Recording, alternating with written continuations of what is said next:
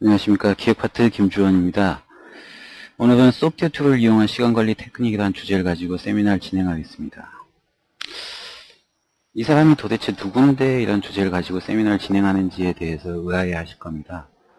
저는 회사에서는 기술기획자라는 타이틀을 가지고 있습니다.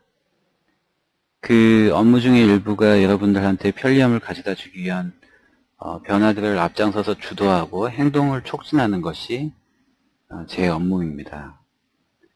하지만 개인적으로는 저는 MCSE, MCDBA라는 타이틀을 가지고 있습니다. Microsoft Certified System Engineer, Database Administrator. 즉, 이미 만들어진 소프트웨어 툴을 활용하는 것에 대해서는 남들보다 조금 더 많은 어, 지식을, 경험을 가지고 있습니다. 저는 경영 컨설팅이라는 일로 첫 직장 생활을 시작했습니다. 지금부터 어, 10년이 지난 후에는 컨설팅을 다시 하려고 합니다. 그때 제가 테마로 잡고자 하는 것이 생산성입니다. 그래서 저는 미래의 제 타이틀을 한번 생각해 봤습니다. 그래서 제가 지은 것이 Productivity Practitioner, 생산성 실천가. 제가 생각하기에도 멋진 이름 같습니다. 이제는 어, 제가 왜 이런 주제를 가지고 세미나를 진행하고 어, 이런 세미나를 진행할 자격이 있다 고 생각을 하실 수가 있겠죠.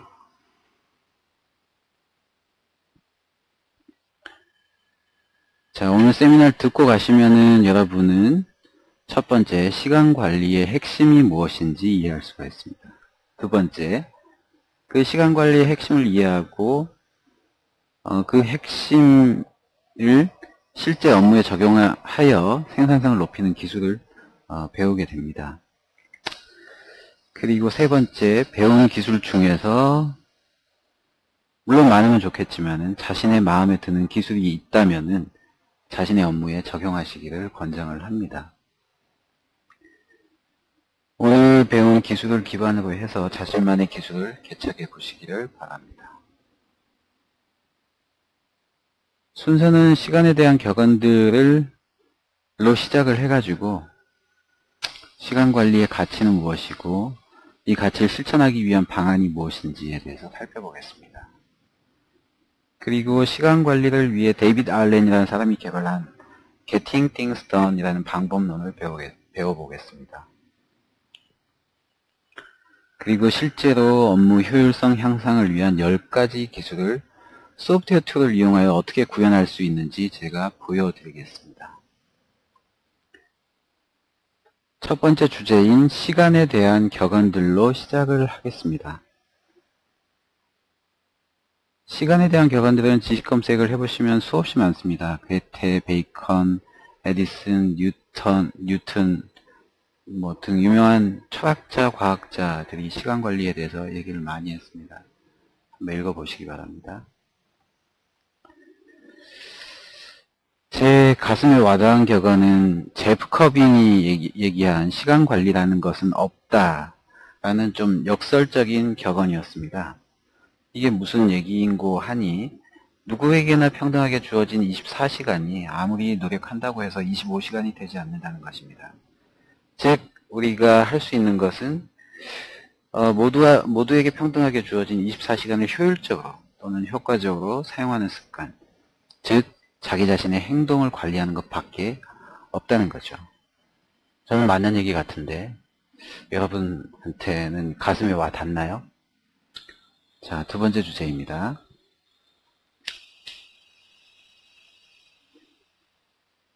시간 관리의 가치는 무엇, 무엇인가에 대해서 얘기해 보겠습니다. 시간 관리를 해서 얻게 되는 것은 생산성입니다. 즉, 어, 생산성을 얻기 위한 시간 관리는 딱 두 가지밖에 없습니다. 첫 번째, 성실하거나, 두 번째, 빨리 하거나. 성실하다는 얘기는 뭐냐면은 어, 성실하다는 얘기는 남들보다 투입 시간이 많다는 얘기입니다. 남들 8시간 일할 때 12, 시간 일하고 남들 12시간 일할 때 16시간 즉 잠을 줄여서 일하는 겁니다. 빨리 한다는 얘기는 어, 동일한 일을 하는데 즉 동일한 아웃풋을 내는데 남들보다 빨리 한다는 이야기입니다. 제가 식과 그래프를 그려서 설명을 해볼게요. 어, 생산성 P, productivity라는 것은 아웃풋 나누기 인풋입니다. 예, 맞는 얘기죠. 자, 그래프에서는 X축을 인풋, Y축을 인풋으로, 아웃풋으로 봤을 때, 즉, 여기 기울기가 생산성이 되겠죠. 성실하다는 얘기는 뭐예요? 성실하다는 얘기는, 어, 앞에도 얘기했지만, 인풋이 많은 거죠. 인풋이 많아지면은, 아웃풋도 비례해서 당연히 많아질 겁니다. 이렇게 증가하죠. 처음에는 기울기가 1이 되겠죠. 하지만 요 A 구간, A 구간에서는 어, 인풋에 비해서 아웃풋이 증가하는 속도가 빨라집니다. 즉 기울기가 1 이상이 되죠. 이거는 학습 효과 때문에 발생하는 현상입니다. 하지만 인풋을 계속 증가시켜서 어, 한다, 증가시킨다고 해서 아웃풋이 무, 무작정, 무한정으로 어, 증가하지는 않습니다. 즉, 그 생산성 자체가 1보다 작아지는 구간이 분명히 생기게 됩니다. 이 구간을 B라고 표시를 했는데요. 이 B 구간에서는 경제학에서 얘기하는 수학 체감의 법칙이 적용이 됩니다. 즉 오버헤드가 발생하는 거죠. 뭐 개인뿐만이 아니고 조직에서도 마찬가지일 겁니다. 어, 특정 프로젝트에 무작정 인력을 많이 투입한다고 해서 결코 결과가 빨라지지는 않습니다. 적정선을 투입을 해야겠죠. 즉 overhead가 발생하는 거죠. 그 overhead는 소위 말하는 coordination, 커뮤니케이션 같은 문제들이겠죠.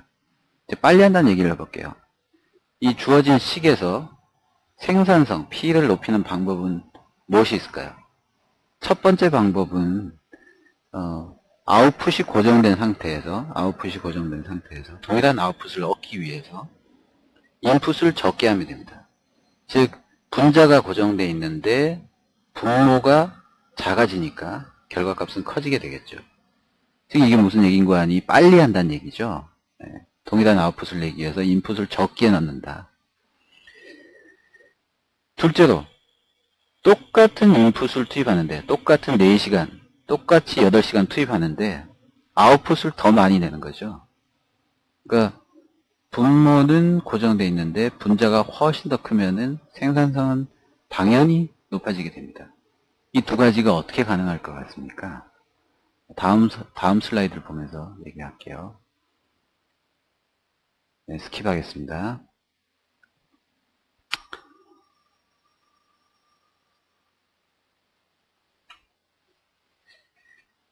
어, 조직이나 산업 레벨에서는 기술 혁신을 통해서 가능하겠죠. 하지만 어, 개인 레벨에서는 앞서 얘기한 두 가지가 가능한 방법은 뭘까요? 이게 바로 오늘 얘기할 시간관리 테크닉들입니다. 어, 저는 구현 방법으로 소프트웨어 툴을 이용할 거고요. 과거에는 IT라는 것이 단순히 생산성 향상을 위한 도구로 사용되었죠. 하지만 이제는 어, 생산성 뿐만이 아니고 value creation을 위한 도구로 사용이 됩니다. 이 슬라이드에서는 이런 도구들을 날카로운 칼이라고 표현을 했습니다. 이 슬라이드는 뒤에 중복이 되기 때문에 skip하겠습니다.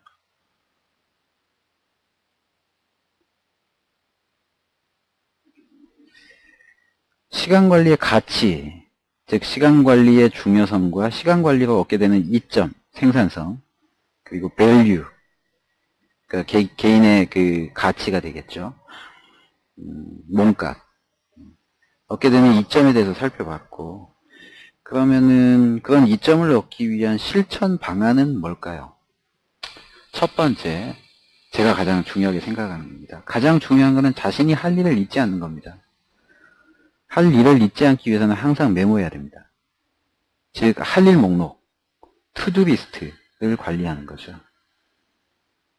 그리고 그 할 일 목록은 수시로 볼 수 있어야 되고, 수시로 업데이트 될 수 있어야 됩니다. 무슨 얘기냐면은, 들고 다니면 가장 좋다는 얘기예요.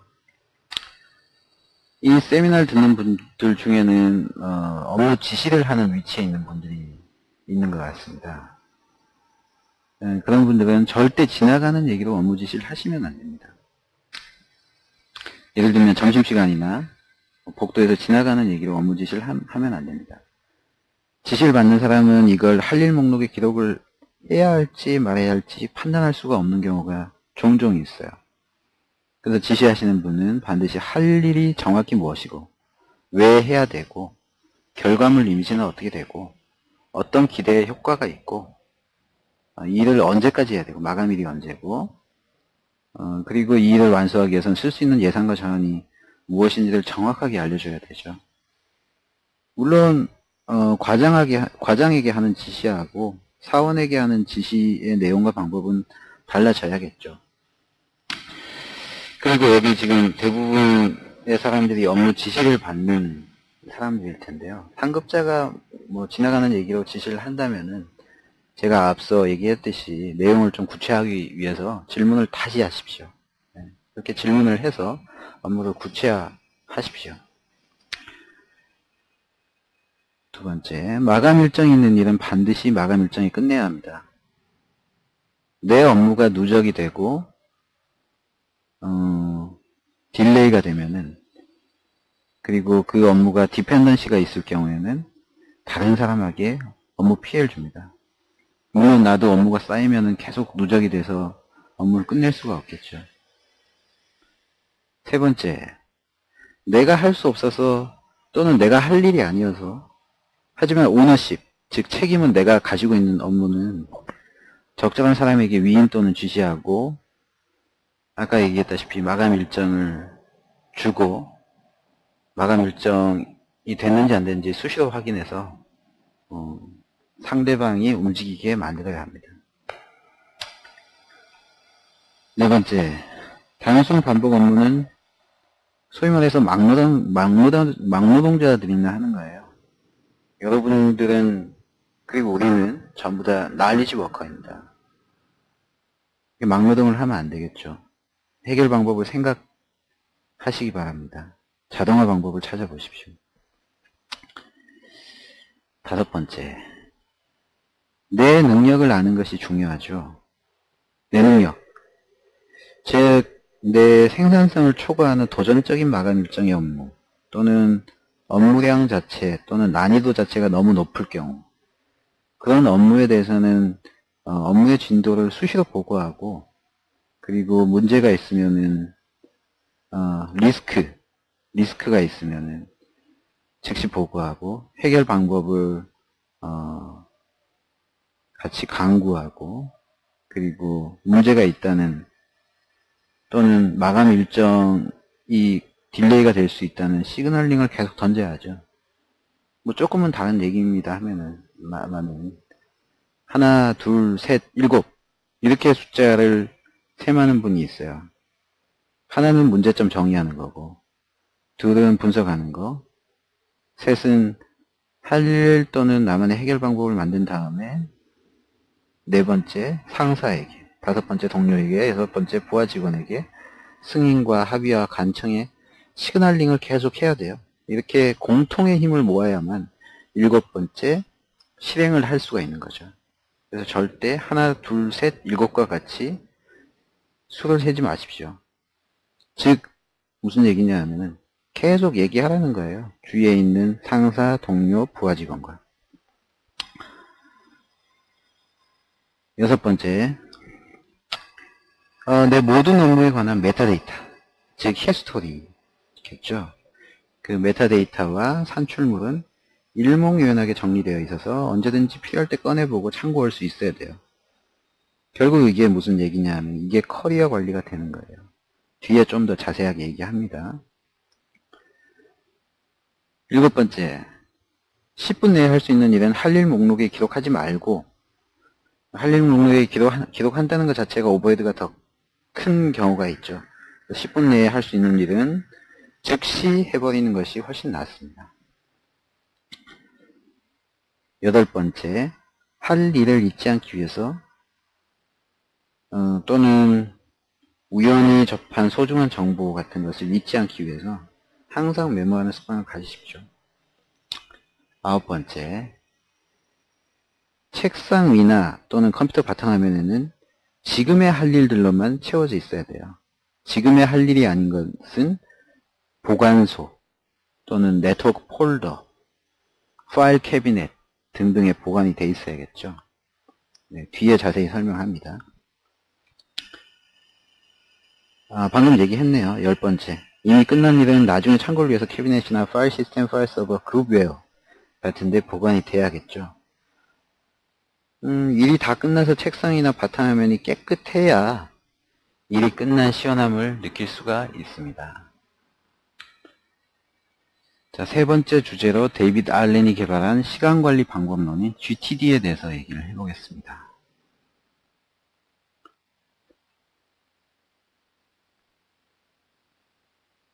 위키피디아를 보면은 GTD는 데이비드 알렌이 개발한 어, action management method라고 되어 있습니다. GTD의 핵심은 GTD의 핵심은 사람의 머릿속에 있는 할 일들을 외부에 전부 꺼내서 외부 장치에 기록하게 하는 겁니다. 이렇게 함으로 인해 가지고 항상 할 일들을 기억하고 있어야 하는 부담에서 벗어날 수가 있고 할 일 목록에 써진 외장 장치죠. 외장 장치에 써진 일들을 하나하나씩 처리해 나갈 때 그 하나하나의 일에만 집중해서 할 수 있게 해주는 거예요. 그래서 할 일 목록에 있는 일들이 전부 처리가 되었을 때는 업무로부터 해방되는 시원함을 느낄 수가 있다고 위키피디아에서는 얘기하고 있습니다. 뭐 GTD라는 거에 대해서 가슴에 잘 와닿지가 않죠. 예, 뒤에 설명하는 제프 커빙이 GTD 기반으로 개발한 프로세스를 보면은 좀 더 이해하기가 쉬울 것 같습니다. 자, 이게 제프 커빙이 개발한 프로세스인데요. 첫 번째 단계는 collect 단계입니다. 모든 input은 inbox에 들어오게 됩니다. 이 단계들 하나하나를 뒤에 어, 상세히 설명할 테니까 지금은 그냥 어떤 단계가 있는지만 이해하시면 될 것 같아요. 두 번째는 프로세스 단계입니다. 인박스에 들어온 아이템을 인지하는 과정이 어, what is 과정이 되겠죠. what is it 과정이죠. 그 다음이 어, 이 아이템이 내가 당장 액션을 할 수 있느냐를 판단하는 과정이죠. 예. is it actionable? 예.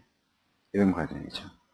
내가 지금 당장 액션을 취할 수가 없다면은, 노라면은, no라면은, 음, 쓰레기통에 버리거나 지금 당장은 actionable하지 않, 않지만은 언젠가는 해야 한다면은 someday maybe로 분류를 해놓는 거예요.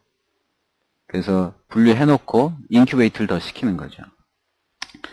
여기 지금 tickler file이라는 용어가 써 있는데요. 네.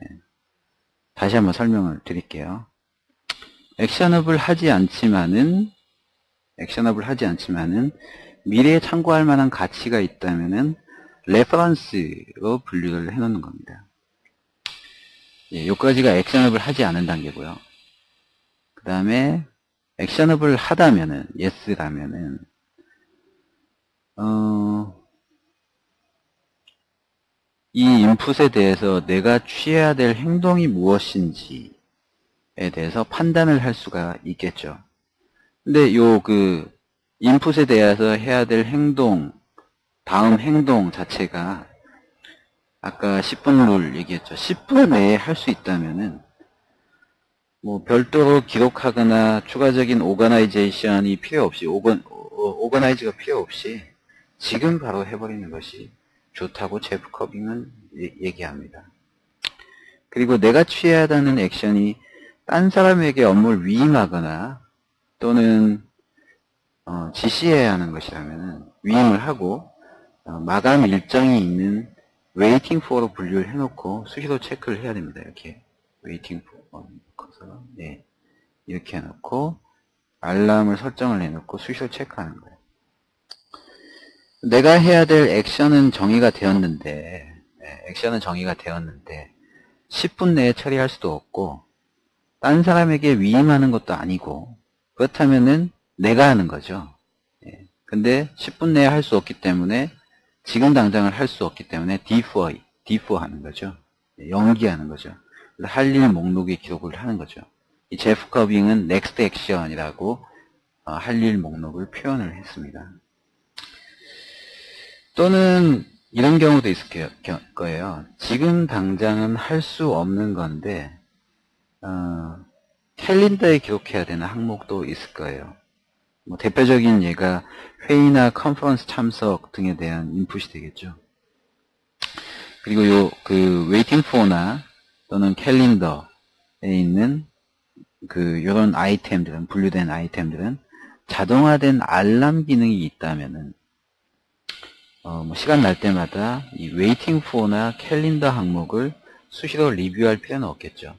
네.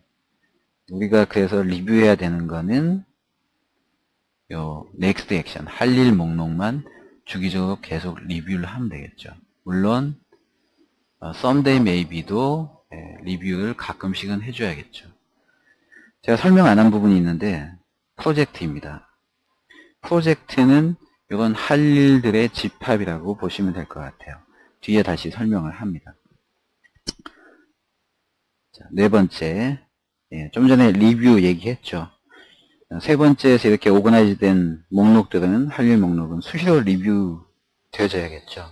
네, 칼린다하고 waiting for는 자동 알람을 설정한다고 얘기했고요.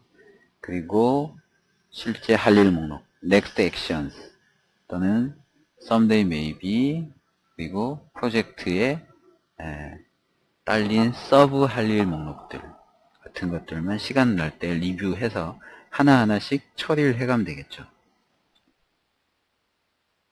예, 처리하는 거죠. 하나하나씩. 자, 이 1부터 3까지의 이 과정 자체가 그 내 머릿속에서 순식간에 발생을 해요. 인풋이 들어왔을 때. 만약에 이런 1부터 3까지의 과정이 4 또는 5 리뷰하고 두 하는 다섯 번째 두 하는 이런 것보다 시간이 더 많이 걸리고 실제 오버헤드가 된다면은 제프 커빙이 만든 이런 전체적인 어, 프로세스를 따라할 필요가 없습니다. 근데 제가 해보니까 진짜 순식간에 발생을 하더라고요. 네. 그래서 한번 적용해 보시면 굉장히 편리한 방법론이 어, 될 겁니다. 자, 좀 더 자세히 설명을 해볼게요. 하나하나씩. 일정이나 음성 메모나 이메일이나 청구서나 우편물이나 등등의 모든 인풋은 처음에는 inbox에 들어가는 거죠. 네. 첫 번째 단계입니다. collect 단계였죠. 두 번째, inbox에 들어온 인풋은 process 과정과 organize 과정을 거쳐서 일곱 목적지 중에 하나로 갑니다. 예를 들면서 한번 분류를 해볼까요? 해볼까요? 자, inbox에 스팸이 들어왔어요. 그러면은 trash 보내는 거죠. 친구랑 낚시 얘기를 하다가 갑자기 아내 또는 내 어, 자녀와 낚시를 한번 가야겠다는 생각이 들었어요. 지금 당장은 내가 action을 하지 않기 때문에 someday maybe에 넣어놓고 수시로 리뷰하면서 incubation하고 어, 가능한 기회를 찾는 거죠. 내가 관심은 있었지만은 어, 참석을 못했어요. 시간이 없어서. 친구가 참석, 그 어떤 컨퍼런스에 참석을 했어요. 그래서 그 컨퍼런스 자료를 친구한테 전달받았어요.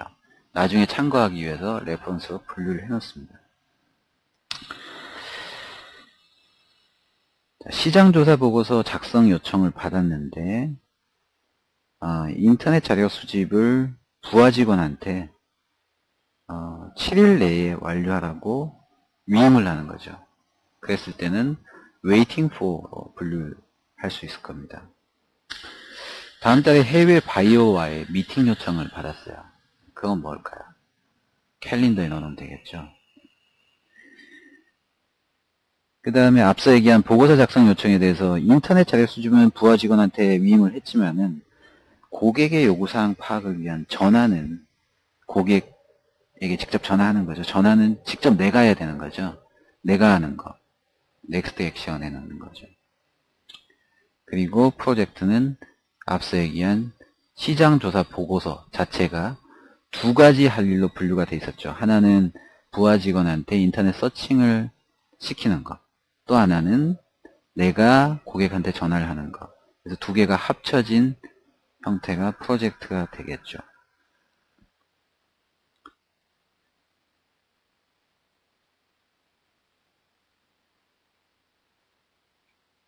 한 번 프로세스 또는 오거나이즈 된 항목은 다시 인박스에 들어가서는 안 됩니다. 예, 분류된 걸로 끝나야 돼요. 자, 굉장히 트리키한 부분인데요. 아까 할 일 목록하고 프로젝트하고 프로젝트는 두 가지 이상의 할 일로 구성되어 있는 것이 프로젝트라고 얘기를 했어요. 자, 집안 대청소라는 이런 그 할일 항목은 이걸 할일 항목에다가 썼다고 생각을 해보죠. 할일 목록에다가 집안 대청소라는 할일 항목은 이게 잘못된 할일 항목이에요. 결국은 이렇게 세분화돼서 할일 목록으로 분류가 돼야 돼요. 수납 공간 늘리는 가구 사기, 먼지 털기, 잡지 정리. 이게 실제 액셔너블 한 어, 할 일들이죠. 이건 어떤 개념이죠. 자, 또 하나 더 해볼까요? 자, 이런 것도 있죠. 네. 주말에 집 밖에서 친구들과 즐겁게 놀기라는 어, 프로젝트가 있고요. 거기에 실제 할일 어, 항목들의 집합, 할 일 목록은 액션 1, 액션 2, 액션 3과 같은 어, 것들이 될 것입니다. 뭐, 어, 이렇게 그 세분화시켜서 쓰는 이유가 있어요. 세분화시켜서 쓰는 이유는 어, 제프 커빙이나 데이비드 알렌은 이렇게 설명을 하고 있습니다. 어, 프로젝트를 너무 간략하게 줄여서 부르다 보면은 여러 가지 단계, 여러 할 일 목록이 있는 것을 이렇게 to-do 한 줄, 집안 대청소와 같이 한 줄로 압축해서 써버리는 경우가 있죠.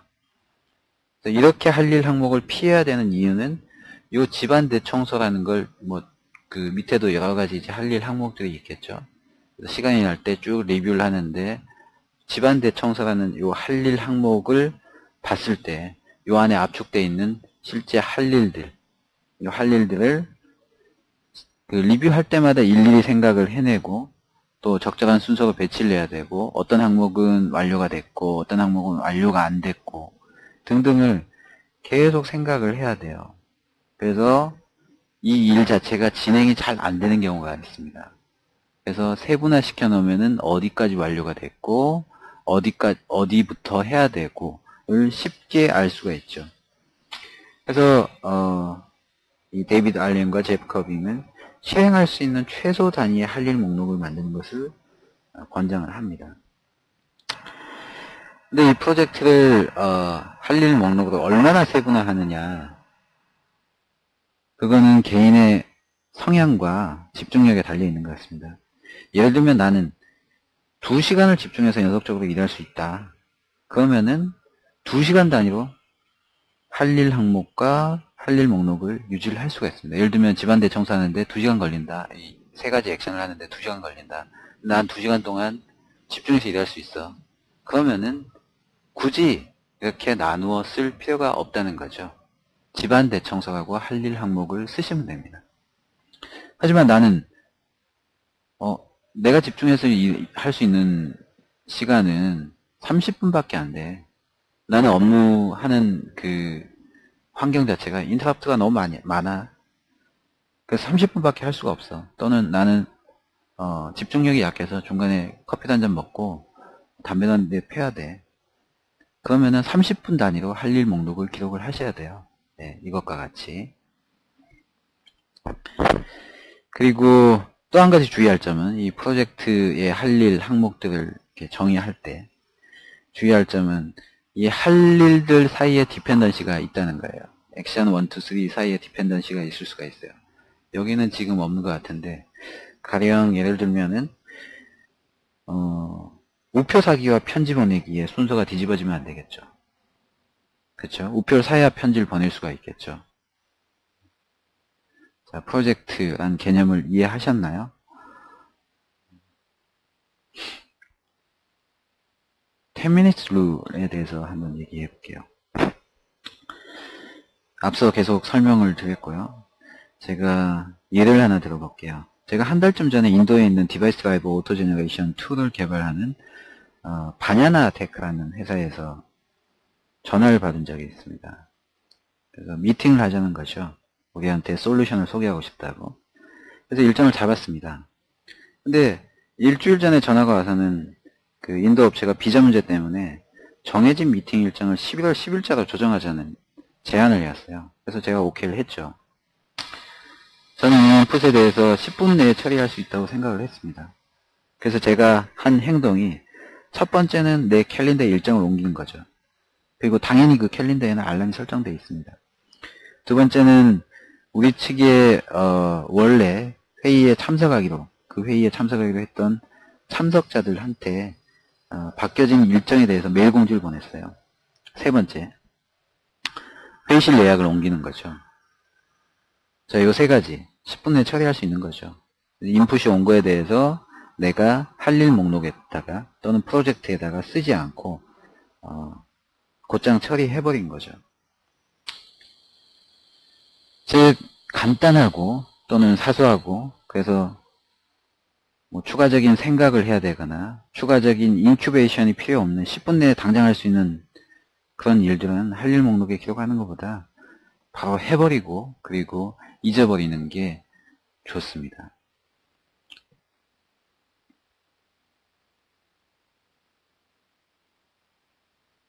예, 데이비드 알렌과 제프 커빙은 할 일 목록을 context별로 분류하는 것을 권장을 해요. 아, 왜냐하면 할 일은 그 일을 할 수 있는 상황에서만 할 수 있기 때문이죠. 예를 들면은 집에서만 할 수 있는 일이 있고 회사에서만 할 수 있는 일이 있고 그리고 PC 앞에서만 할 수 있는 일이 있거든요. 그래서 할 일 목록을 여러 개를 가지고 있는 거죠. 예를 들면은 at home 할 일 목록, at office 할 일 목록, at PC 할 일 목록 등등등 이렇게 여러 개의 할 일 목록을 유지해서 거기에 맞게 각각 아, 분류된 할 일들을 기록을 하는 거죠. 물론 뭐 꼭 이렇게 할 필요는 없습니다. 하나의 할 일 목록만 유지를 하고 특별한 노테이션을 하셔도 상관이 없고요.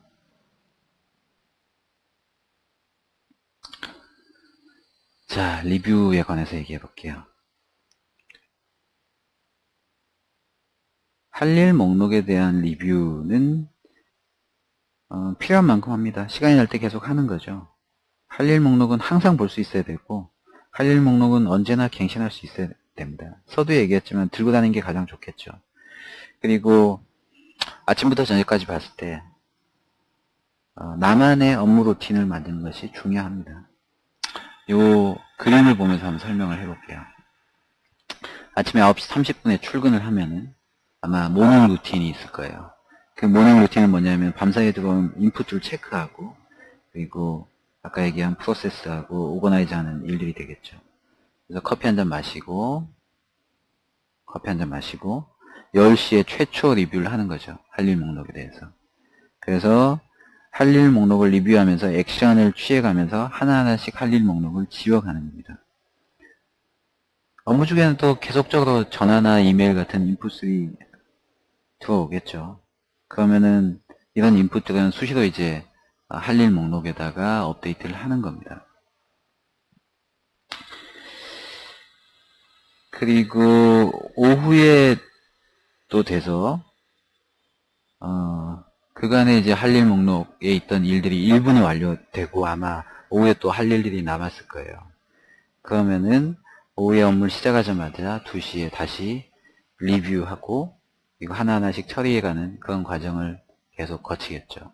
중간에 또 계속 인풋이 있을 테고요. 그리고 또 중간에 또 어, 떤그 회의를 갔다 왔다.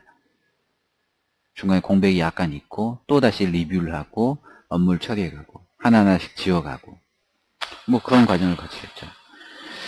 그래서 이제 저녁이 돼서는 퇴근 시간이 돼서는 evening routine을 하는 거예요. 뭐 evening routine은 뭐 예를 들면은 뭐 이런 일들이 되겠죠. 네. 받은 편지함 정리하고 하루 성과 리뷰하고 저널 작성하고 내일 업무 준비하고 뭐 이런 일들이 되겠죠. 이거 전체가 보면은 daily routine이라고 보시면 돼요.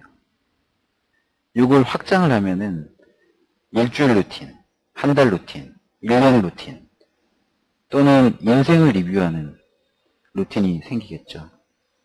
즉 어, 굉장히 micro한 레벨에서 할 일 목록을 하나하나씩 처리해 나가는 굉장히 간단한 방법을 통해서 결국은 내 인생 목표에 접근해 가는 것이 GTD가 제시하는 방법의 어, 굉장히 큰 메리트 또는 매력 중에 하나인 것 같아요. 예, 앞서 설명을 못한 tickler file을 설명을 드릴게요. 데이비드 알렌은 어, tickler file로 43개의 폴더가 필요하다고 했습니다. 이걸 tickler file이라고 하는데요. 어, 왜 43개냐면 1월부터 12월까지 12개의 폴더와 그리고 1일부터 31일까지의 31개 폴더 이렇게 되는 거죠. 그리고 이 각각 하나하나의 폴더 안에는 컨텍스트별로 분류된 할 일 목록들이 들어있고 이 43개의 폴더는 서류 가방에 항상 가지고 다녀야 된다고 얘기를 합니다.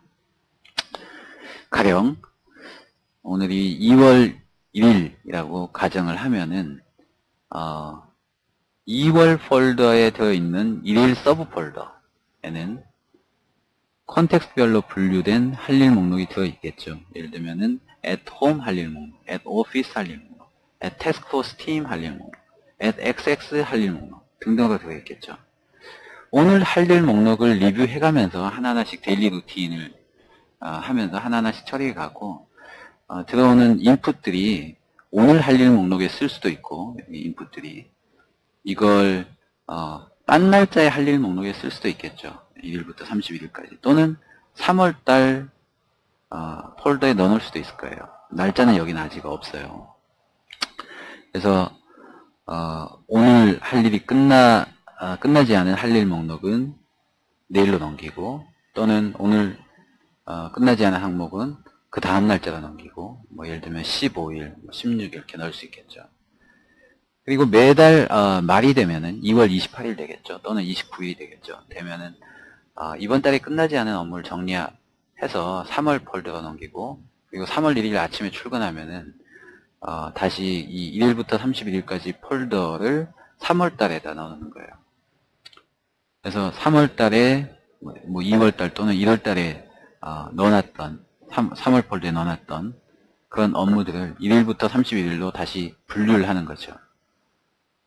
그렇게 해서 어, 업무 계획을 세우고 할 일 목록을 정리하는 방법이 티클러 파일입니다. 뭐 제가 보기에는 굉장히 번거롭고 복잡하고 오버헤드가 크다고 생각됩니다. 네, 제가 뒤에서 네 번째 주제에서 소프트 툴을 이용해서 이거 어떻게 간단히 할 수 있는지 제가 소개해 드릴게요. The Beauty of GTD 아, 죄송합니다. 할 일 목록에 할 일이 아무것도 남아있지 않으면 시원함을 느끼죠. 그게 The Beauty of GTD예요. 할 일 목록이 모두 다 스트라이크 선이 거져 있는 거죠. 그럼 놀아도 되는 거예요. 할 일이 없으니까. 왜냐하면 이미 머릿속에 있는 걸 모두 꺼, 끄집어내가지고 종이에다 할 일 목록에다가 써놨기 때문이죠.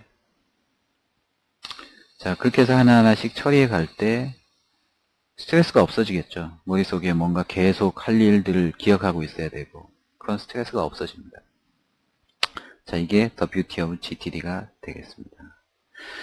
자, 제프 커빙의 어, GTD 프로세스 또는 데이비드 알렌의 GTD라는 개념 좀 이해가 되셨나요?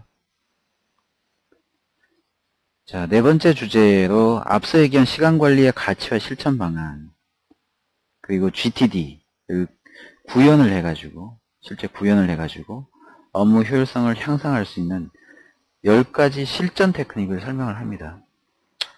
10가지 중에서 일부는 짧지만은 제 6년 동안의 직장 경험을 통해서 터득한 것이고 일부는 뭐 책이나 인터넷, 세미나 등을 통해서 어, 제 나름 그 적용하고 좀 고친 그런 내용들이 되겠습니다. 자, 첫 번째로 GTD 할일 목록 관리에 대해서 얘기해 보겠습니다. 제 개인 생각으로는 enterprise context에서 어, killer application은 이메일하고 캘린더하고 연락처하고 할 일 목록이 아닌가 생각합니다. Outlook은 이런 측면에서 굉장히 도, 좋은 도구이고요. 그리고 어, 앞서 얘기한 GTD를 완벽하게 구현을 해줍니다. 데모를 보면서 설명을 드릴게요.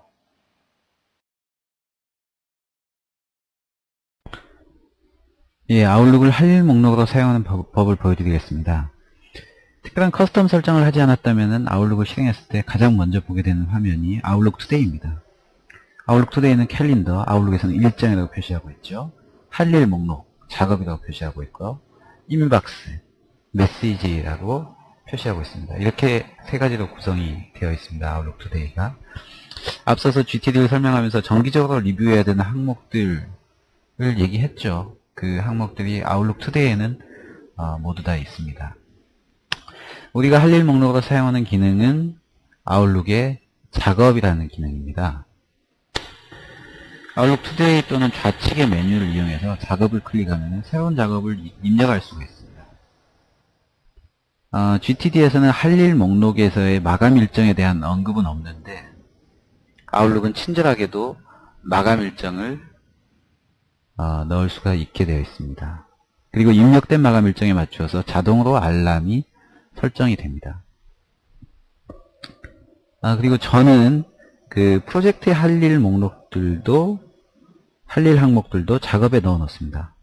아웃룩 작업에는 어, 프로젝트 제목을 넣어 놓고 그리고 본문에 작업 본문에 할 일 목록들 어, breakdown해서 넣어 놓습니다. 그리고 3, 3 slash 4와 같이 notation을 하는 거죠. open된 항목 slash 전체 항목수 그리고 완료된 항목은 취소선을 긋고 제목을 업데이트를 하는 거죠. 그러면은 someday maybe는 어떻게 하냐면은 someday maybe는 Outlook에서는 일정을 넣을 수 있기 때문에 그냥 먼 일정을 넣어 놓으면은 그건 어 계속 Outlook 작업에 남아 있기 때문에 어 someday maybe로 활용을 할 수가 있습니다.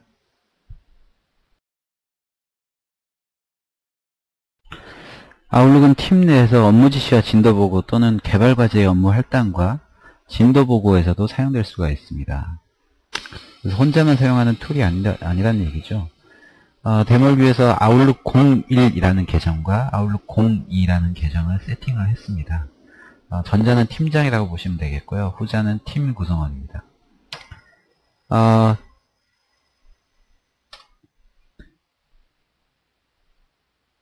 팀, 어, 팀장의 아웃룩 작업에서 할 일을 입력하고 작업 할당 데모라는 할 일을 입력을 했죠. 그리고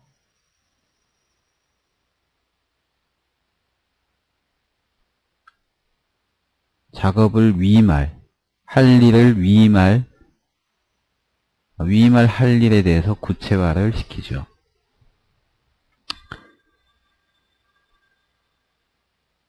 그래서 첨부 파일도 집어넣고요.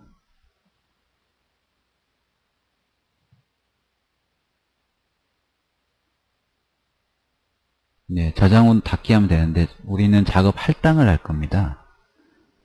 아웃룩 02에다 한테 할당을 할 거고요.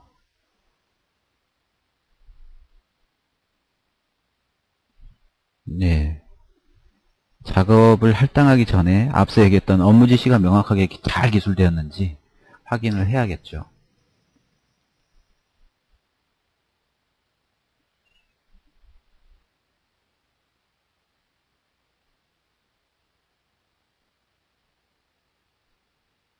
네, 업무를 해야 되는 이유에 대해서 설명을 하고 있고 누구한테 도움을 받을 수 있으며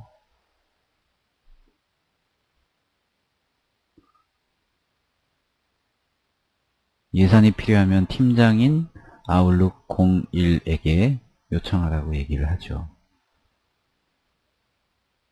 보내기를 누르면 작업이 할당이 됩니다.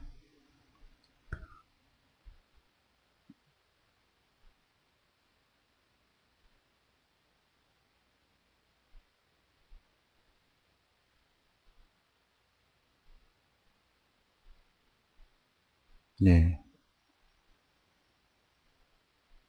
아웃룩 02의 화면으로 넘어왔습니다. 이미 작업이 할당되어 있는 것을 보실 수가 있죠.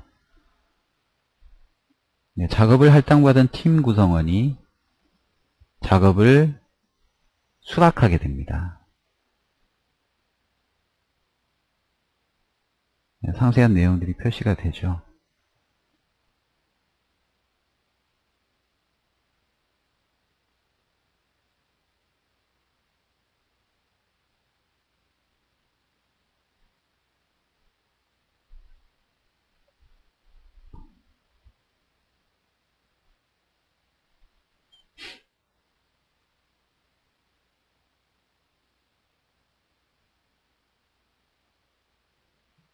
예. 이 팀 구성원은 어, 업무에 대해서 좀 더 구체화되기를 원하죠. 박 아무개의 연락처를 모르니까 알려달라고 얘기를 하죠. 그리고 얘 정해진 일정까지 완료하겠습니다. 라고 했는데 어, 주로 업무 환경에서 그 팀장님이 팀 구성원한테 업무 지시를 할 때 이메일을 하는 경우가 많죠. 그랬을 때는 어, 이렇게 업무를 잘 받았다. 라는 간단한 메일이라도 꼭 어, 쓰, 시길 바랍니다.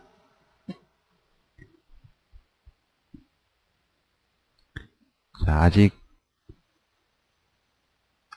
작업만 수락한 상태이기 때문에 진도는 안 넣었고요. 그런데 어, 마감 일정이 다다음 주기 때문에 다음 주인가요? 다음 주기 때문에 금주에 한번 진도 보고를 해야겠죠. 그래서 상태 보고서를 보냅니다. 아직 진도가 업데이트가 안 됐는데 보낼 수는 없겠죠. 진도를 85%로 업데이트를 하고 상태 보고서를 보냅니다. 85% 표시된 걸 볼 수 있죠. 이렇게 되면은 어, 팀장의 Outlook에도 이 보고서를 받는 순간 85%로 업데이트가 됩니다. 네, 제목이 task status report라고 표시가 되죠. 자, 이번에는 작업이 완료됐다고 가정을 해보죠.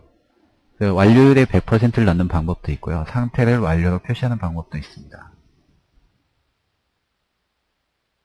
저장 후 닫기를 하면은 예, 완료되었음을 표시하는 취소선이 표시가 됩니다. 역시 아웃룩 투데이에서도 취소선이 표시가 될 테고요.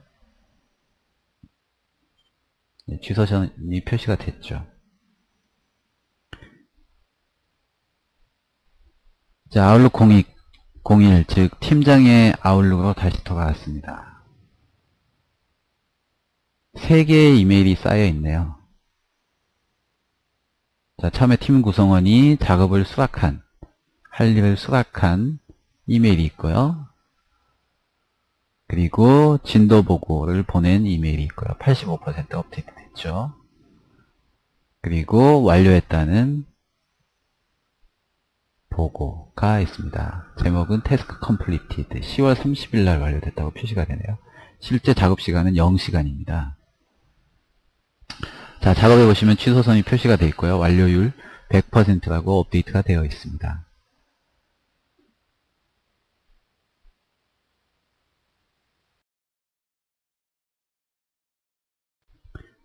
예, 아웃룩을 이용해서 작업 할당을 하는 데모를 보셨는데요.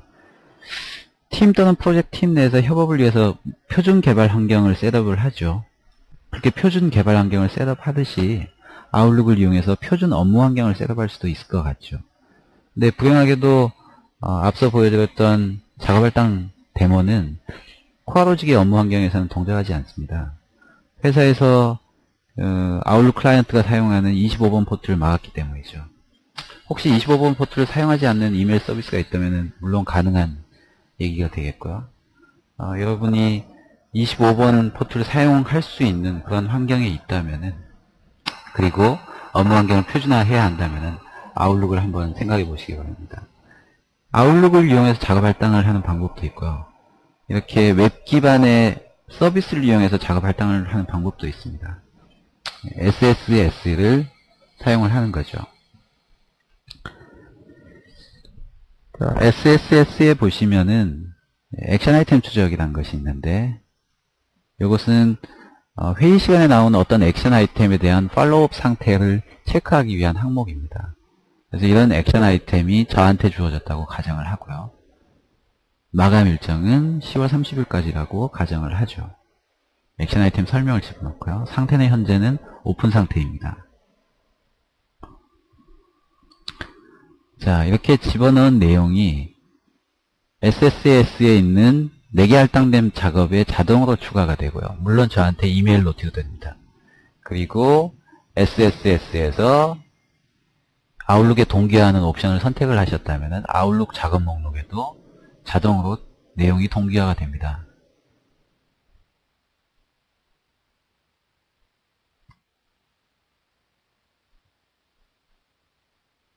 이런 경고 메시지가 뜨면은 얘를 눌러주면은 아웃룩이 보내기 받기를 하게 되고요. 예. 작업에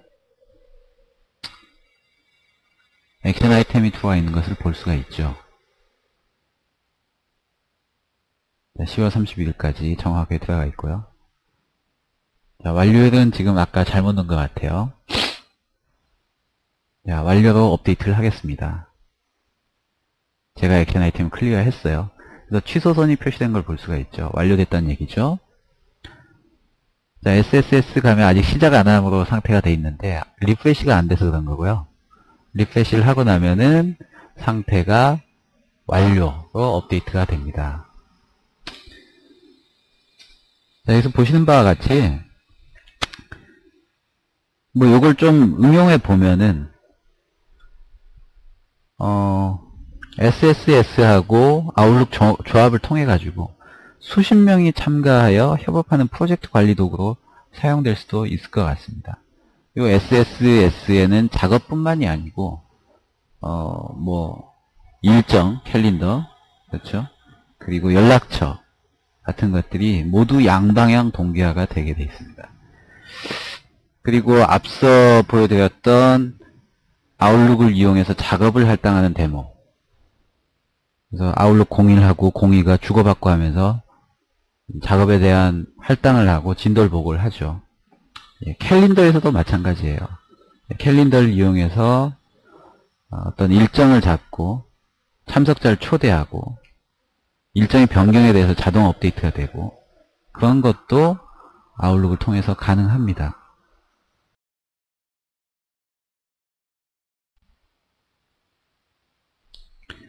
할 일 목록을 유지하기 위해서 꼭 컴퓨터를 이용하고 아웃룩을 이용할 필요는 없는 것 같아요. 종이도 굉장히 유연하고 어, 유지하기 좋은 할 일 목록 도구입니다. 이 사람은 메모카드를 사용을 하네요. 그리고 context별로 분류가 된 메모카드를 집게로 찝어가지고 들고 다니죠. 여기 context가 표시가 되어 있습니다. home PC라고 표시가 되어 있죠. 그리고 자신만의 notation 방법을 개발했습니다. 마이너스가 기본 오, 어, 그 오픈 상태고요. undone 상태고 네, 마이너스에다가 짝대기 하나 그으면은 done 상태가 되는 거고요. 위에 보시면 아시겠죠. 그리고 delegated 딴 리스트에 넘겨졌거나 또는 cancel 됐다. 뭐 이렇게 자기만의 notation을 아, 표시를 했습니다. 그리고 이 사람은 6개의 context, 7개의 context로 분류를 했네요. 저도 얼마 전까지는 이렇게 그 포스트잇을 이용해서 할 일 목록을 유지를 했습니다. 포스트잇을 이용해서 이 모니터 밑에다가 붙여 넣고요. 거기다가 할 일 목록들을 기록을 했죠. 그리고 일이 끝날 때마다 하나하나씩 지어 나갔습니다. 어, 그러면은 포스트잇은 들고 다닐 수 없지 않느냐.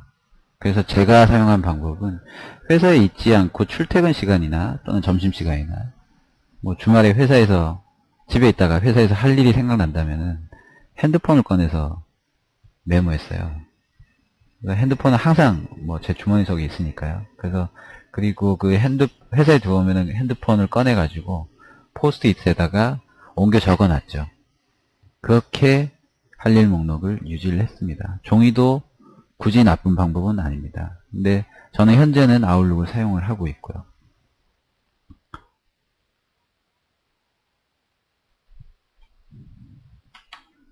자, 두 번째, Actions 파일 폴더 관리에 대해서 말씀을 드리겠습니다. 앞에서 실전 방안 얘기할 때 완료된 일은 눈, 눈앞에서 치우라고 얘기를 했습니다. 그래야 더 beauty of GTD, 할 일이 없을 때 시원함을 느낄 수가 있겠죠. 저는 PC 바탕화면에 내 문서와 그리고 액션 폴더 두 개가 있습니다. 액션 폴더는 할 일 목록에 있는 할, 어, 그, 할 일 항목들 중에서 PC로 작업해야 되는 일들. 그래서 현재 내가 PC로 하고 있는 일들만 넣어놓은 폴더입니다. 그리고 그, 할, 그 문서 작업이 끝나면은 어, 내 문서에 적절한 폴더로 옮깁니다. 데모를 보면서 설명을 드릴게요.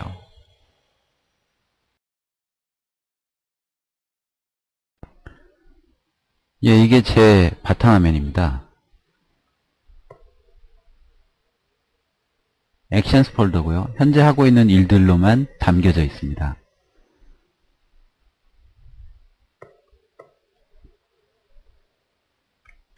그리고 이게 내 문서 폴더입니다.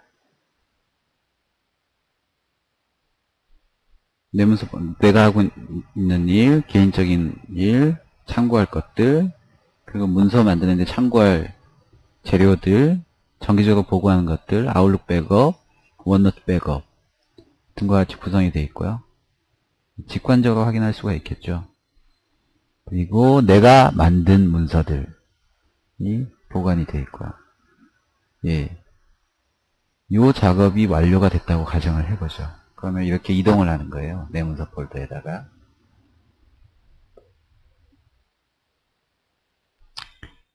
각각 폴더를 조금씩 볼까요? 네, personal 폴더는 좀 산만합니다. 뭐 중요하지 않기 때문이죠.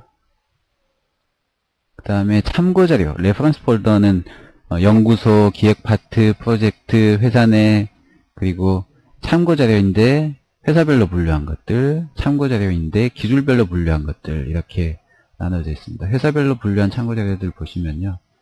제가 이게 2007년도 7월달부터 쿼로직에 편입되면서 모은 자료들입니다. 그리고 기술별로 분류된 자료들 분류가 되어 있습니다.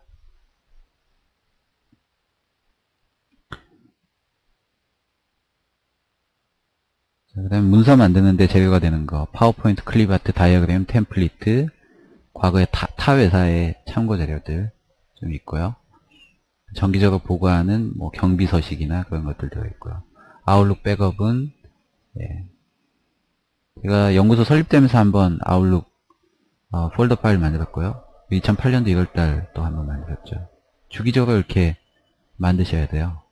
OneNote 백업은 OneNote 파일은, 파일은 월별로 되어 있습니다. 자 그리고 제가 팁을 하나 알려드릴게요.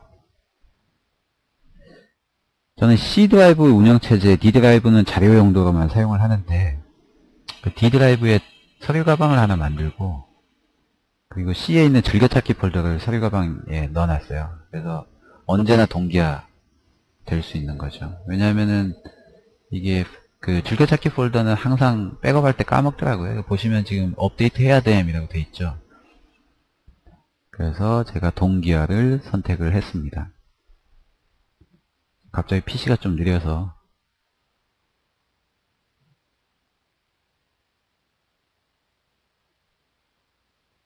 예. 동기화했죠. 그래서 상태를 보시면은 최신 내용으로 표시가 되어 있습니다.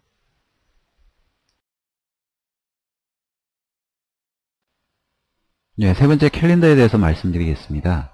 앞서 보셨다시피 할 일 목록에 내가 관여된 PC 작업의 산출물들은 전부 내 문서에 어, 폴더로 고스란히 담겨져 있습니다. 그런데 내가 참여한 미팅 또는 컨퍼런스의 히스토리는 어떻습니까? 여러분 아웃룩의 일정, 캘린더에다가 어, 미팅 제목만 넣어놓으시는데요. 그렇게 하지 마시고 회의 내용을 넣어놓으시고요. 뭐 회의록이 있다면은 회의록을 거기 쓰시는 것도 본문에 쓰시는 어, 캘린더 본문에 쓰시는 것도 좋을 것 같고요. 또는 첨부 파일 형태로 있다면은 첨부 파일을 붙여넣기 할 수 있죠. 그리고 또는 참석자를 넣어놓는 도구로 사용을 하셔야 돼요. 물론 아까 말씀드렸다시피 현재는 회사에서 아웃룩을 사용 아웃룩을 이용해서 메일 보내기가 블록되어 있어서 이 참석자를 이용해서 뭐 회의 일정을 잡고 그런 것은 불가능할 것 같은데요. 아까 보여드린 SSS의 그 공유 캘린더를 이용해서 일정 잡고 일정 공유하는 거는 가능한 얘기입니다. 저는 그 Outlook보다는 OneNote를 사용하는데요. OneNote 사용하는 데모를 보여드리겠습니다.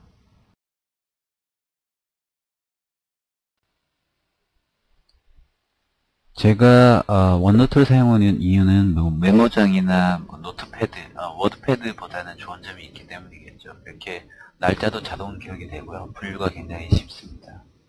그리고 Outlook에 있는 캘린더 내용을 집어넣을 수가 있기 때문에 참석자 등의 정보가 자동으로 기록이 됩니다. 저는 월별로 이렇게 분류를 하고 있고요. 2007년도 내용을 보면 2007년도는 폴더가 되어 있어서 폴더 밑에 다시 어, 원노트 파일이 들어가 있습니다. 그래서 월이 있고 그리고 월에 해당하는 회의 내용들이 있습니다.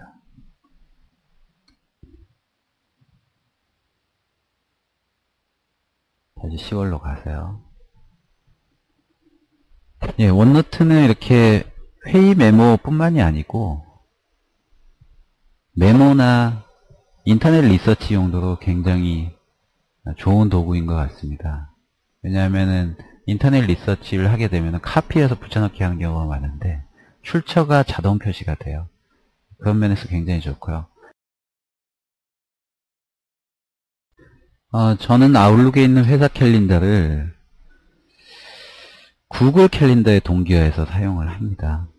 회사 밖에서 또는 집에서 회사의 일정을 감안을 해가지고 딴 일정을 잡아야 할 경우가 굉장히 많더라고요. 근데 제가 불행히도 회사 PC에 있는 일정에 동기화할 수 있는 스마트폰이 없어가지고 이런 tool을 사용을 하게 됐습니다.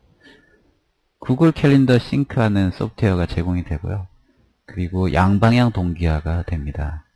보시는 바와 같이 예, 아웃룩에 있는 일정들이 전부 구글 캘린더에 동기화가 되어 있고요. 그리고 구글에서 넣은 구글 캘린더에서 넣은 일정이 아웃룩에도 자동 동기화가 되게 됩니다. 일정을 만들었고요.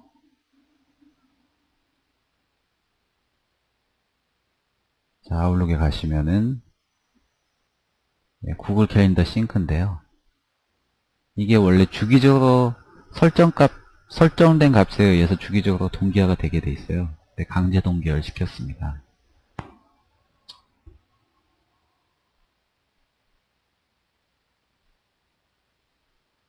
보시면은 예, 구글 캘린더에서 넣은 내용이 표시가 되는 걸 볼 수 있죠.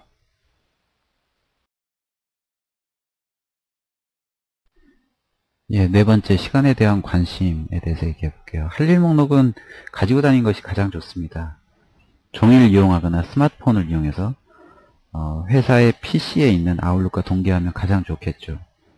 하지만 저는 스마트폰이 없어서 그리고 가급적 회사 업무는 회사에서만 하려고 해서 하지만은 그 회사를 하다가 집에서 할 일이 생각날 때가 있더라고요. 그래서 저는 아이구글에서 제공하는 할 일 목록 위젯을 사용합니다. 사용하는 걸 잠깐 보여드릴게요. 예, 이게 제가 집에서 할 일을 기록해 놓는 아, 할일 목록입니다. i구글이고요. 할 일 목록 위젯을 사용을 하고 있습니다. 꽤나 편리합니다. 그래서 언제든지 집에서 할 일이 생각나면 집에 가서 보고 여기 써놓고 집에 가서 보고 하나하나씩 처리가면 되는 거죠. 그래서 어, 가끔씩은 마누라가 제가 회사에 있을 때 내가 해야 할 일이 생각이 나면은 제 계정을 들어가서 써놓기도 합니다. 예를 들면은 어, 통장 가져오기 뭐 이런 할 일들을 써놓기도 하죠. 우선순위도 매길 수가 있고요. 완료되면은 완료 표시를 할 수가 있습니다. 자, 다섯 번째 테크닉 스크랩에 대해서 한번 얘기를 해볼게요. 뭐 인터넷을 서칭하다가 유용한 정보를 발견했을 때 주로 어떻게 하세요? 저는 스크랩을 합니다. 주로 어, 저한테 이메일을 보내죠. 그래서 시간 관리의 가치를 얘기하면서 빨리 하는 것에 대해서 얘기를 했는데 스크랩이 지금은 굉장히 귀찮고 별 쓸데없는 걸 왜 해? 뭐 이렇게 생각할 수 있겠지만은 정작 필요할 때 찾으려면 진짜 많은 시간이 걸립니다.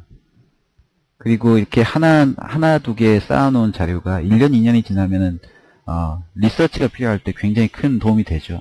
그래서 리서치가 필요할 때 가장 먼저 이메일을 검색해 보고요. 그래서 이메일, 내 이메일에 없다면은 부족한 정보만 인터넷을 다시 서칭을 하게 됩니다. 물론 그때 또 새로 서칭한 정보도 이메일로 다시 스크랩이 되는 거죠. 이메일 외에는 RSS를 이용하는 방법이 있고요. 또는 즐겨찾기를 이용하는 방법이 있습니다. Outlook이 RSS reader가 되는 건 알고 계시죠? 그리고 즐겨찾기 이용하는 방법은 뭐 local PC에 즐겨찾기 하는 방법도 있는데 Delicious라는 사이트를 추천을 합니다. 이 사이트는 뭐 웹 기반의 즐겨찾기이기 때문에 제가 좀 전에 서류 가방 이용해서 즐겨찾기 동기화 얘기했잖아요. 그럴 필요가 없어요. 여기는 웹 기반이기 때문에 내 즐겨찾기가 언제나 웹에 올라가 있습니다. 그래서 여기에 가입을 하면 인터넷 브라우저용 뭐 작은 applet이나 또는 plug-in을 제공을 해요. 그래서 브라우저 상단에 도구 모음이 Delicious 전용 도구 모음이 뜨게 되고 어, 원하는 페이지에서 Delicious 전용 도구 모음에 있는 버튼을 누르면은 클릭하는 순간 내가 보고 있는 페이지가 스크랩이 됩니다. Delicious 사이트에. 그리고 내가 스크랩한 페이지를 딴 사용자가 얼마나 많이 스크랩을 했는지에 대해서도 확인을 할 수가 있어가지고 이 정보의 credential 확인 측면에서 굉장히 도움이 되는 것 같더라고요.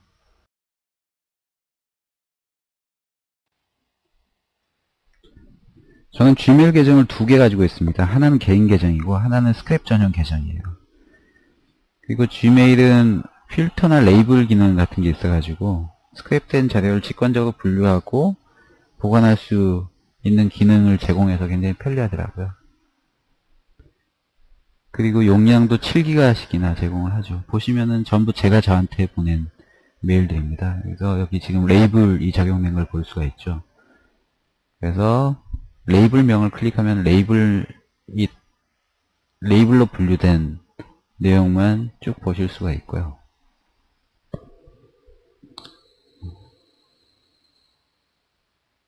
필터도 할 수가 있습니다. Outlook의 규칙과 같은 기능이라고 보시면 돼요. 특정 조건에 맞는 어, 메일이 들어오면은 어떤 처리를 해라 자동화시키는 거죠. 자 그리고 구글의 강력한 검색 기능을 사용을 할 수가 있습니다. 순식간에 찾아주죠.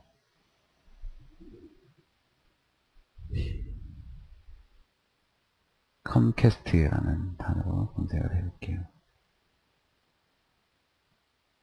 역시 순식간에 찾아줍니다. 자, 이렇게 스크랩 기능으로 Gmail을 사용하는 걸 보여드렸습니다. 예, 여섯 번째 테크닉 메모에 대해서 얘기해 볼게요.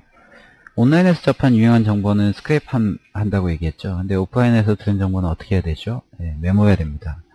역시 일을 빨리 하기 위한 습관 중에 하나고요. 이 메모도 그냥 음, 소홀히 할게 아니고 나중에 쌓이면 큰 재산이 됩니다. 그래서 메모하는 방법은 Outlook에 할 수도 있고 저는 이제 OneNote에 하는데요. OneNote 이따 좀 보여드릴게요. 그리고 음, 예, Protopage라는 사이트가 있죠. 메모 역시 언제 어디서나 접근할 수 있고 동기화나 백업에 대해서 신경 쓰지 않으려면 인터넷 메모 사이트가 있겠죠. Protopage라는 걸 추천을 합니다. 그 외에도 뭐 많은 방법이 있, 겠죠 야후 위젯도 있을 수가 있고요. 바탕화면에 항상 떠, 있, 떠 있고 그, 그리고 기록된 내용은 웹에 저장되기 때문에 뭐 딴 곳에서도 내 사무실 PC가 아니고 딴 곳에서도 메모를 확인을 할 수가 있습니다. 그리고 들고 다니기가 가장 편한 종이 그리고 핸드폰이나 스마트폰 같은 것도 있습니다. 자, 이건 제 원노트인데요. 제가 메모한 걸 한번 보시죠. 보조노트에다가 메모를 하고 있고요. 보면은 삼성전자의 신비한 폰 프로젝트 스테이터스에 대해서 어, 송준석 팀장님한테 들은 얘기고요. 영업부서에서 생각하는 준호에 대한 생각들, DRA 코덱이란 게 뭐냐, 이건 저녁 먹으면서 이제 어, 그런 얘기들을 제 업무에 관련이 돼 있기 때문에 메모를 해 놓은 겁니다. 그리고 13층 WEP key 같은 예, 일곱 번째 테크닉 데이터 관리에 대해서 얘기를 해보겠습니다. 예, 제 경험을 통해서 체득한 rule of thumb은 이런 겁니다. 첫 번째, 데이터 파일은 재앙에 대비해서 언제든지 백업할 수 있어야 될 것 같습니다. 해서 운영체제와 자료 파티션은 분리하는 것이 좋을 것 같습니다. 그래서 이메일, 회의록, 프로젝트 산출물, 즐겨찾기 등 모든 데이터 파일은 운영체제가 설치되지 않은 파티션에 보관이 되는 것이 좋습니다. 그리고 이런 파일들은 외장 저장 장치 또는 네트워크 폴더에 주기적으로 백업돼야 됩니다. 뭐 현재 회사 정, 어, 보안 정책상 외장 장치로의 백업은 막혀 있지만 사내 네트워크 폴더로의 백업은 가능하죠. 그래서 SyncToy 같은 어, 무료 자동 동기화 tool이 있으니까 인터넷에서 찾아보시면 될 것 같아요. 그리고 Outlook 파일도 백업을 해야 되는데 Outlook 파일은 보통 3기가가 넘어가면 속도가 굉장히 느려져요. 그래서 저는 아까 보셨다시피 6개월마다 한 번씩 어, 백업을 하고 있습니다. 폴더 파일이라면은 공백을 사용하지 않는 것이 좋습니다. 윈도우 체제에서는 문제가 없는데요. 딴 운영 체제로 파일을 옮기거나 또는 인터넷에 올렸을 때 공백이 있으면 문제가 발생을 해요. 그래서 뭐 잘 아실 테지만은 리눅스 스타일의 underbar를 사용하거나 아니면은 camel 스타일로 naming하는 것을 권장을 합니다. 폴더의 깊이나 폭을 넓게 하는 것은 정말 어리석은 행동이에요. 이렇게 분류하는데 overhead가 더 큽니다. 그래서 최소한으로 어, foldering을 하고 Google Desktop이나 Microsoft Desktop Search 같은 search engine을 desktop search engine을 사용하는 것을 권장을 합니다. 이따가 보여드릴게요. 그리고 자신만의 naming convention을 만드십시오. 폴더 또는 file name에 대해서 저는 어, 날짜 underbar 파일의 내용 식으로 파일 naming을 하고 있고요. 아까 폴더는 보셨다시피 yyymm underbar 내용 이렇게 하고 있습니다. 네, 제 desktop이고요. 마이크로소프트 데스크탑 설치가 설치가 되어 있습니다. 어, 제가 찾으려고 하는 것은 퀄컴이 들어간 그림이고요. 퀄컴을 클릭을 하면은 모든 항목에 대해서 searching을 했죠. 미리 보기도 보여주고 있고요. 문서만 찾을 수도 있고 전자메일만 찾을 수도 있습니다. 기타에 보시면은 서치 결과를 좀 더 필터링 할 수가 있는데요. 예, 여기 그림이 있네요. 네, 퀄컴이 들어간 UI1에 관련된 그림을 발견을 했습니다.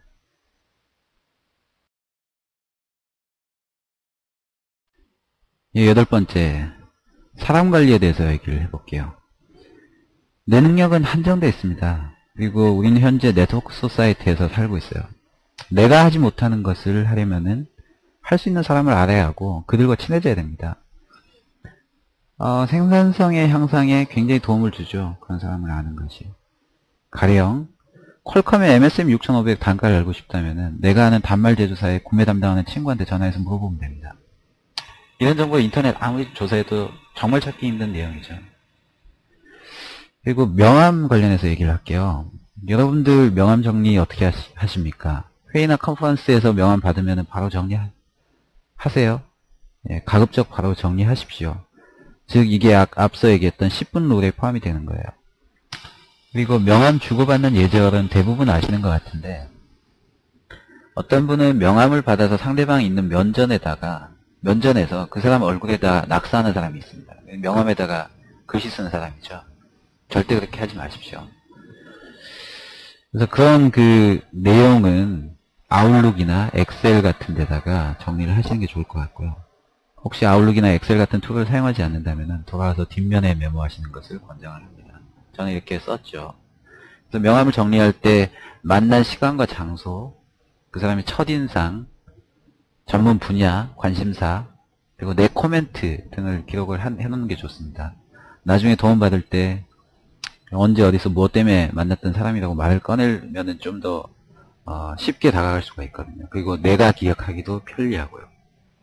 아웃룩이 좋은 점은 주소를 넣어놓으면은 지도도 표시를 해주는 거죠.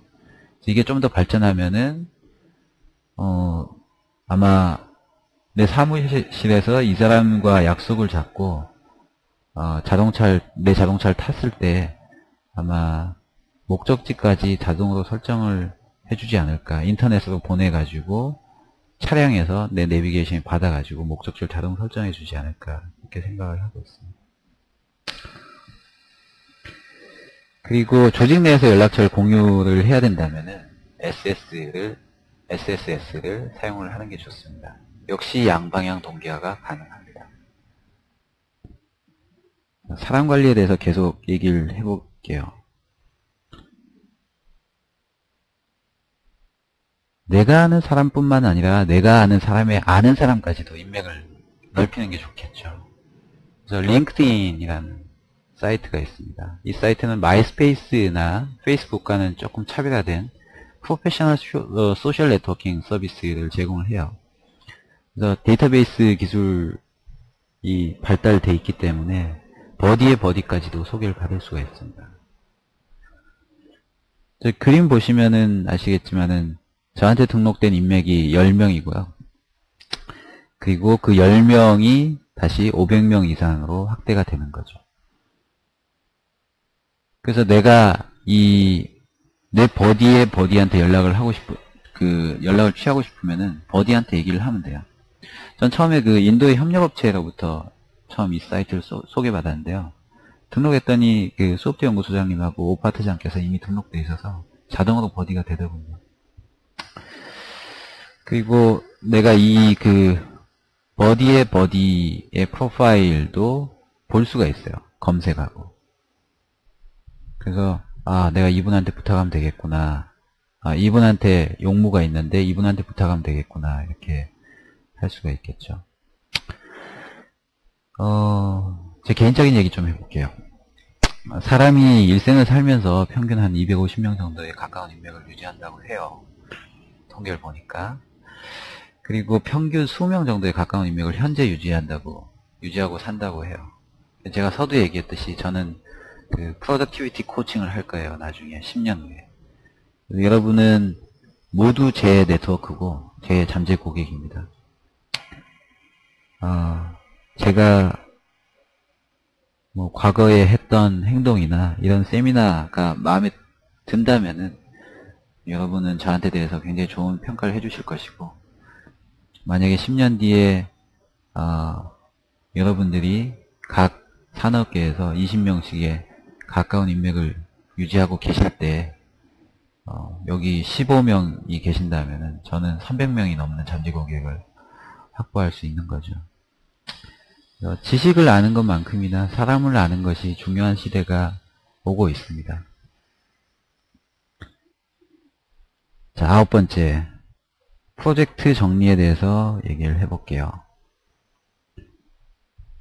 자, 여러분은 프로젝트 산출물과 그리고 산출물들 간의 그 history들 어떻게 관리되고 있습니까? 산출물은 보통 내 문서나 네트워크 폴더 또는 그룹웨어에 보관되고 history는 보통 이메일에 보관이 되죠. 이메일에 보관하지 않기 위해서 우리는 개발 완료 보고서 같은 걸 쓰고 있습니다.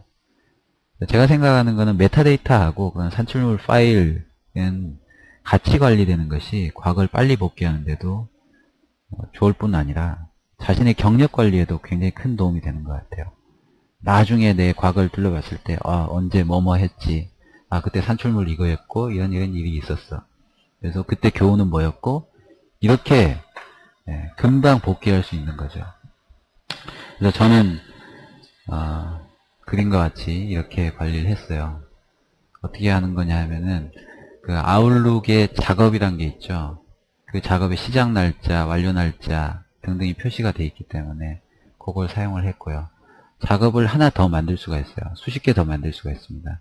그래서 프로젝트라는 작업이란 걸 하나 더 만들고 제목을 바꿨어요. 프로젝트가 바꾸고 거기다가 작업 제목에다가 프로젝트 제목을 쓰고요. 시작 날짜, 완료 날짜, 그리고 날짜별로 history와 산출물 등을 기록을 했죠. 어, 만약에 자신이 PM 또는 PL 또는 프로젝트 코디네이터라면은 이런 걸 한번 해볼 필요가 있을 것 같아요. 그리고 꼭 자신이 아니어도 프로젝트 팀에서 적어도 한 명은 이렇게 journaling을 해야 될 것 같아요. 그리고 꼭 뭐 아웃룩을 쓰실 필요는 없고 이런 방법의 경력 관리도 있을 것 같아요. 또는 프로젝트 관리도 있을 것 같아요. 개인 주간 보고를 메타데이터, 즉 history로 사용을 하고 어, 보고에는 필요하지 않지만은 추가적인 정보를 위해서 column을 하나 더 만들어 가지고 산출물들의 relative link, 내 문서에 아, 있는 내 문서의 위치 같은 걸 링크로 표시를 해놓으면은 내가 어떤 어떤 업무를 했고 산출물이 어디 위치에 있다 이렇게 표시가 되겠죠. 그것도 좋은 방법인 것 같습니다. 자, 이메일 정리하는 거를 마지막으로 보여드릴게요. 이메일 정리는 굉장히 중요한 것 같아요. 이메일도 잘 보관해야 되는 중요한 자산이죠. 데모를 보면서 말씀을 드릴게요. 예, 다시 제 아웃룩으로 왔습니다. 자, inbox 보시면요. 온 메일 중에서 그냥 읽어보고 보관 가치가 없으면 휴지통에 보내면 돼요. 그 다음에 내 업무, 소속 조직, 관리적 관심을 많이 쏟아야 되는 일, 즉 history 관리가 중요한 일들은 이렇게 foldering을 했죠. reference 폴더도 있고요. reference 폴더, reference 해야 될 건 reference 폴더에 넣고요. 그리고 좀 더 생각해야 된다. 그리고 지금 당장 액션이 필요하지 않다. 시간 날 때 뭐 읽어봐야 된다. 그런 거는 someday maybe로 범주화 시키고요. 지금 당장 해야 되는데 내가 해야 될 일은 맞는데 협의와 논의를 많이 해야 된다. 지금 딱히 할 일 항목으로 뭔가 발굴할 수도 없다. incubation으로 범주하고요. 미팅 요청이나 컨퍼런스 요청은 곧장 캘린더에 넣습니다. 딴 사람한테 전달하고 답변을 기다려야 될 때는 waiting for, delegated slash waiting for로 분류를 하고요. 또 그게 더 숙성이 필요할 때는 incubation, 범주를 두 개를 붙일 수도 있죠. 그리고 범주할 필요는 없는데 나한테 remind 시켜줘야 되는 거는 flag를 답니다. 그래서 인사팀에서 독감 예방접종 뭐 공지가 왔죠. 이런 거는 미리 알림을 해가지고 플래그를 달아놓죠. 자, 요 플래그 단 거는 작업에도 들어가 있어요. 작업에도 보시면은 예, 다음 주에 인사팀 독감 뭐 이렇게 돼 있죠. 예, 정리를 해보겠습니다. 지금까지 시간관리를 주제로 해서 시간관리의 중요성과 시간관리를 통해 얻게 되는 혜택, 뭐 시간 관리의 요체는 무엇이고 어떻게 실천해야 되는가에 대해서 얘기해 봤고 GTD라는 방법론 또는 tool을 배워봤고 실제 내 업무에 적용할 수 있는 테크닉도 10가지나 배워봤죠. 뭐 좀 지루한 내용이긴 했었는데 제가 사실 어, 여러분들 전혀 모르는 얘기 한 거는 아닐 거예요. 뭐 GTD라는 개념이 조금 생소하긴 했을 텐데 뭐 까보니까 다 아는 내용이었죠. 즉 시간 관리는 누구나 다 아는 너무나도 뻔한 이야기들입니다. 하지만 다 아는 뻔한 방법을 습관화하고 실천하는 것이 시간 관리의 핵심이라는 것을 잊지 마시기 바랍니다. 자, 제가 참고한 책들 좀 알려드릴게요. 자기개발 및 관리, 시간 관리, 자기 관리 분야의 전문가이신 공병호 박사께서 GTD라는 책을 끝도 없는 일 깔끔하게 해치우기라는 책으로 번역을 했습니다. 그리고 스티븐 코비의 어, 소중한 것을 먼저 하라라는 책도 추천을 합니다. 혹 그 이 두 책 중에 하나를 사서 읽으시려는 분이 있다면은 이 두 책의 접근 방식이 조금 틀리다는 다르다는 것을 미리 말씀드립니다. GTD는 업무의 우선순위를 매기지 않고 할 일을 액션 레벨로 최대한 잘게 쪼개서 하나씩 처리해가는 bottom-up 방식의 어, 접근을 한다면은 스티븐 코비의 책은 또는 그 방식은 중요한 것을 먼저 하라는 top-down 방식의 approach를 하고 있습니다. 참고하시고요. 그리고 인터넷 reference도 있으니까 참고하시고요. 자, 여기까지인데요. 세미나를 마치기 전에 광고 하나만 하겠습니다. 예, 제 다음 세미나는 프로젝트 셋업 with MS 프로젝트라는 주제를 계획하고 있습니다. 네, 프로젝트 관리라는 것은 뭐 일정 계획, 자원 계획, SOW, 예산, 계약, 하도급, 진도, 위험, 의사소통, 산출물 관리 등 뭐 많은 부분을 포함하는, 포함하는 science이면서도 art입니다. 그 중에서도 특히 science 부분에 해당하는 일정 계획 수립 부분에 대해서 세미나를 할 예정입니다. 저는 연구소 생활을 하면서 대부분의 PM, PL들이 또는 그 이전에도 PM, PL들이 일정 계획 tool을 일정 계획표를 예쁘게 만들기 위한 도구로만 사용하는 것을 봐왔습니다. 일정 계획이라는 것은 어, 프로젝트의 시작과도 같은 것이고 그리고 일정 계획을 통해서 관리 포인트를 찾아내고 이 관리 포인트를 프로젝트 관리에 art로 승화시켜야 하는데 어, 정작 많은 분들이 일정 계획의 기본 이론 자체를 모르고 계세요. 그래서 이런 어, 이론이라고 한다면은 뭐 프로젝트의 3요소라든지 flexibility matrix, 팀의 정의, work breakdown structure, 그리고 일정 계획 수립 및 목적, 일정 계획이란 프로젝트 달력, forward scheduling, backward scheduling, dependency, milestone, 기간, 공수, 일정 이게 무슨 의미냐? PERT CPM project evaluation and review technique critical path method 이런 것들. 그 다음에 float나 어, slack의 개념 뭐 자원 평준화는 뭐고 baseline은 뭐냐? 뭐 이런 것들에 대해서 이런 이론에 대해서 잘 모르고 계시는 것 같아요 이런 이론들이 일정 계획 tool에 어떻게 녹아 들어가 있는지 데모를 통해서 좀 보여드리고요. 그리고 나가서는 적정한 tool을 선택하고 일정 계획을 어, 세우는데 도움을 줄 뿐만 아니라 프로젝트 관리 전반에 도움을 줄 수 있는 세미나를 한번 진행해 볼까 합니다. 관심 있는 분들의 많은 참석을 바랍니다. 세미나 여기까지입니다. 감사합니다.